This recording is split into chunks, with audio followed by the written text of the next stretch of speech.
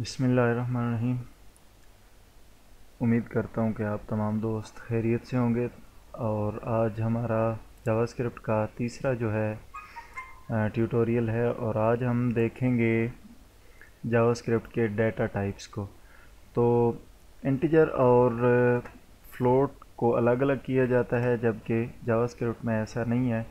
मैं फ़र्ज़ करें, पिछले में मैंने जस्ट इंटीजर दिया था, इसमें मैं फ्लोट दे देता हूँ।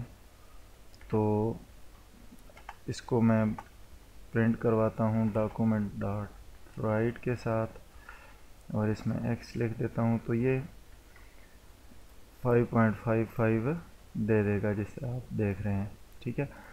तो फ्लोट या इंटीजर को इसमें अलग नहीं किया जाता और स्ट्रिंग के लिए भी अलग से नहीं लिखा जाता। फ़र्ज़ करें मैं एक्स में डब्ल्यू ए के वे आर ये लिख देता हूँ और यहाँ पर मैं इसको शो करवाता हूँ। तो एक मिनट देख लेते हैं क्या इशू आ रहा है। नॉट डिफाइंड हाँ सॉरी मैंने यहाँ पर इसको, सिर्फ़ स्ट्रिंग जब लिखी जाती है तो उसमें डबल कोड्स दिए जाते हैं। तो इसको हमने डबल कोड्स में किया। अब हम देखते हैं, ये आ चुका है। तो अब फ़र्ज़ करें, मैं यहाँ पर एक और काम करता हूँ। यहाँ फाइव कर देता हूँ और एक और वेरिएबल वाई को मैं टेन कर देता हूँ। तो अब यहाँ पर मैं x plus sorry x plus Y करता हूँ। मैं देखता हूँ कि ये क्या हमारे पास सामने आता है। ये पाँच सौ दस सामने आ रहा है। इट मीन्स के ये जो है, ये स्ट्रिंग है और ये इंटीजर है तो ये इसने इनको आपस में कॉन्कटिनेट कर दिया। तो इसके अलावा इसमें बोलियन आ जाता है, फ़र्ज़ करें मैं ये कहता हूँ कि x is equal equal to Y तो ये फॉल्स है, ठीक है। अगर मैं यहाँ पर इसको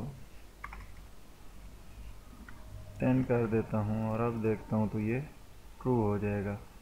तो ये बोलियन में आ गया, यानी कि ट्रू और फॉल्स में आएगा बोलियन और इसके अलावा अगर हम इसको बनाएँ ऑब्जेक्ट बनाएँ, या फिर हम इसको दूसरी सूरत में भी ले सकते हैं एज ए अरे तो पहले हम अरे बना कर देख लेते हैं। एक वेरिएबल को एज ए अरे बना लेते हैं।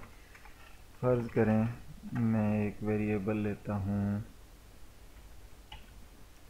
क्लासेस या क्लास चलो इसका यूज़ होने वाला वर्ड है तो मैं सिटीज़ ले लेता हूँ। और यहाँ पर इस तरह मैं ले लेता हूँ। क्वाल उसके अलावा मैं ले लेता हूँ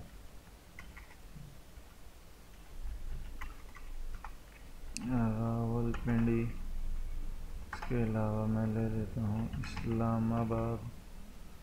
और अब मैं एक चीज़ को शो करना चाहता हूँ इनमें से, और वो मैं सिटीज़ और उसमें से ज़ीरो रे को शो करना चाहता हूँ। और मैं देखता हूँ कि मेरे पास ये चकवाल आ चुका है। अगर मैं इसको बंद कर देता हूँ और अब देखता हूँ तो ये रावलपिंडी आ गया। अगर मैं टू कर देता हूँ तो अरेज जो हैं, हम डिटेल में अरे में पढ़ेंगे। फ़िलहाल हम सिर्फ़ डेटा टाइप्स देख रहे हैं तो यहाँ पर सिर्फ़ इस हवाले से देखेंगे। उसके अलावा हमारे पास एक चीज़ यूज़ होती है, जिसमें आता है ऑब्जेक्ट ऑब्जेक्ट किस तरह बनाया जाता है? मैं यहाँ पर एक वेरिएबल बना लेता हूँ नेम्स और इक्वल टू के बाद ये इस तरह यहाँ पर मैं ले लेता हूँ। फ़र्स्ट नेम फ़र्ज़ करें। ये ले लिया, और इसको, इसके बाद लास्ट नेम और फिर यहाँ पर ये कर लिया। अब अगर मैं इसको प्रिंट करवाना चाहता हूँ तो उसका तरीका कार ये होगा। डॉक्यूमेंट डॉट राइट कर लिया। और यहाँ पर मैं देता हूँ।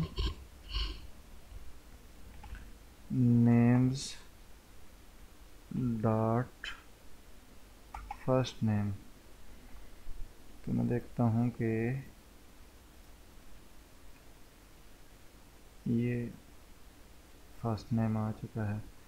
और अगर मैं लास्ट नेम प्रिंट करवाना चाहता हूँ, साथ ही नेम्स डॉट लास्ट नेम तो आप देखें कि ये दोनों आ चुके हैं, वकार अहमद, लेकिन इसमें मैं स्पेस देना चाहता हूँ तो यहाँ पर और प्लस ऐड करके यहाँ पर स्पेस दे देता हूँ। तो ये स्पेस आ चुकी। ये देख लें। तो ये हमारे डेटा टाइप्स हैं, जिनको आज हमने डिस्कस किया है यहाँ पर। और लास्ट में अगर एक और चीज़ हम देखना चाहते हैं कि इसकी डेटा टाइप क्या है, उसके लिए हम क्या करते हैं?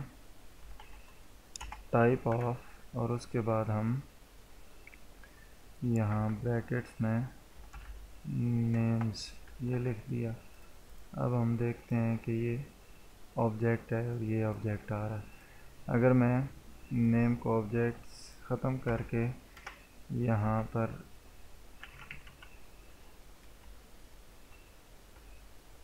ये कर देता हूँ और अब देखते हैं तो ये स्ट्रिंग हो चुकी है। अगर मैं नेम्स वेरिएबल को कोई नंबर दे देता हूँ तो ये नंबर आ चुका इस तरह डेटा टाइप को हम चेक भी कर सकते हैं कि कौन सी जो वेरिएबल है, उसका डेटा टाइप क्या है। तो यहाँ पर आज हम अपने इस लेसन को ख़त्म करते हैं, अपने इस ट्यूटोरियल को ख़त्म करते हैं। इन नेक्स्ट ट्यूटोरियल के साथ हाज़िर होंगे। तब तक दीजिए इजाज़त, अल्लाह हाफ़